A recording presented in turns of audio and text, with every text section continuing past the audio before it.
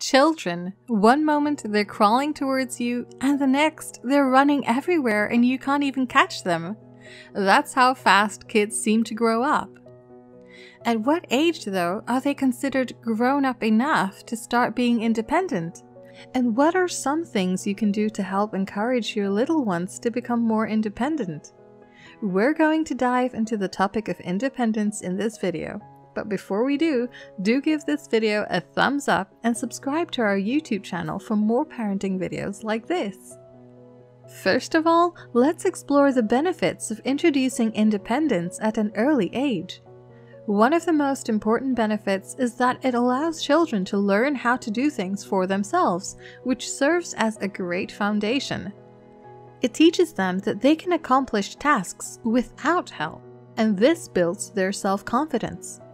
Self independence also prepares children for the challenges of life they might face later on, such as moving away from home and living alone while they study overseas, for example.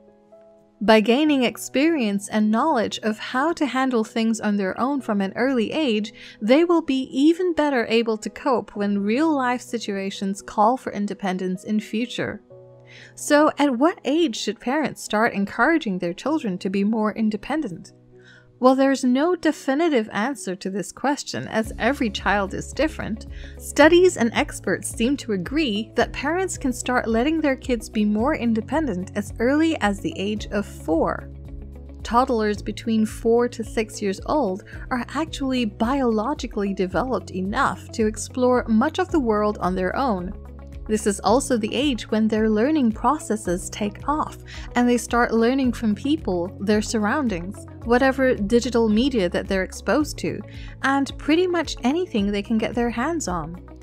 Children around the age of 4 to 6 years old also have better control over their feelings and behaviors as compared to a tiny tot, and they might be able to express themselves and their feelings through simple verbal language. What are some ways parents can encourage their four year olds to be more independent? One thing that parents can do is to give their children more opportunities to make choices on their own.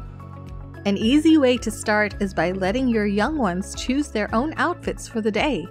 It sounds easy, but it might be a challenge for them when they're just only starting to make their own choices. A whole wardrobe of options might be too overwhelming, so pick several choices and let them decide on which one they want to wear. Personal hygiene is one important area in which children should be taught to take care of themselves. This means washing their hands before eating and after using the bathroom, brushing their teeth twice daily, and being able to wash and soap themselves while taking a shower or having a bath. These are things that kids at that age are able to do by themselves. While kids at age 4 or 5 might not yet be able to do their own laundry, they can always be shown where the laundry basket is and be taught to have the discipline to toss their dirty clothes into the laundry basket instead of leaving them all over the place. And just because they're little doesn't mean they can't handle some responsibilities. Little ones can help clear the dining table before it's time to eat, or help wipe down the table after dinner is done. If you have pets at home, kids aged 4 to 6 can also be put in charge of remembering to feed the pets or to refresh the water bowl. For kids aged 7 and older, you can definitely assign them certain house chores that they can handle. This is the age when children can start being responsible not just for themselves, but also for tasks that contribute to the family. House chores can include doing the dishes or loading and unloading the dishwasher, vacuuming or sweeping the floor, or helping you to keep the home organized. All these can teach your kids important life skills as well as speed up their maturity.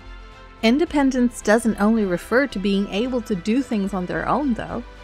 They also need to learn how to handle problems and emotions on their own as well. So spend time talking to your child and teaching them problem solving skills and how to deal with negative emotions in healthy ways. This will ensure that they will be able to take their independence out of the home and handle themselves just fine at school and in public. Independence is also needed to be able to handle themselves in the presence of others. So make sure not to forget the social aspect of your child's development. Let them spend time with other kids, such as at playdates and in classes and activities with other children apart from their friends at school. This will teach them how to make friends independently and how to conduct themselves in social settings and how to forge lasting relationships. These are some of the most useful skills you can teach your children that will help them get out of their comfort zone and prepare them for life. Becoming more independent is an ever learning process, not only for our kids, but also for us parents, because we have to learn to let go. So always remember not to do for your children things that they can do for themselves. We're merely holding them back from developing really essential life skills that they need. And remember to be patient with them on their journey to becoming independent and appreciate all the little moments on the journey.